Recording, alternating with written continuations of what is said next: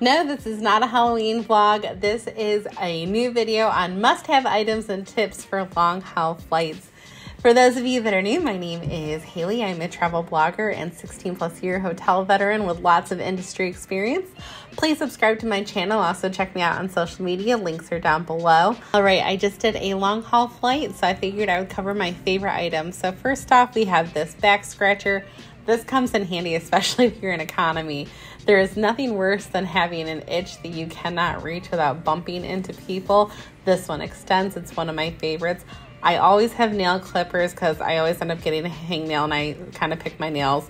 I always bring pills, melatonin gummies that kind of helps flip my sleep schedule.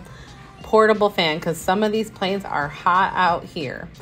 I also bring under eye patches. They're usually caffeine ones. Those are my favorites. I always bring a sheet mask as well. Hair tie to pull my hair back. And then I bring a little brush combo, whatnot. I actually took this from when I was at an air spa recently in Chicago because it unfolds out into a brush and a comb and it's really handy and I don't like having messy hair. Um, along the same lines of flights being super dry, and I always have eye drops. I have very dry eyes. These are my favorites. I live by these.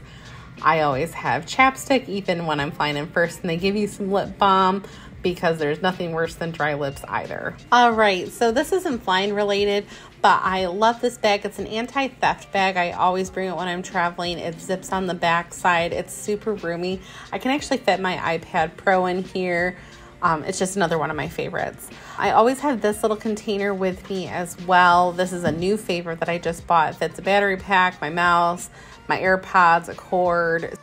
It keeps me super organized. And I'm to put up some quick tips right here for flying long haul. Screenshot this and save it. Now, another thing I always bring are compression socks, no matter what seat I'm sitting in, even if I'm in the lay flat seats. I always bring a spare outfit as well. I know this might seem a little silly, but it's a lot more comfortable when I'm trying to sleep. Another thing that I end up doing is that sheet mask. This is a huge, huge piece of how I travel.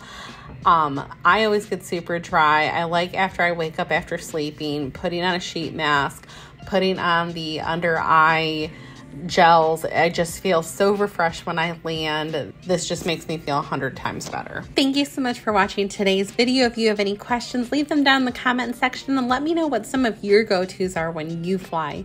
See you in the next video and don't forget to subscribe.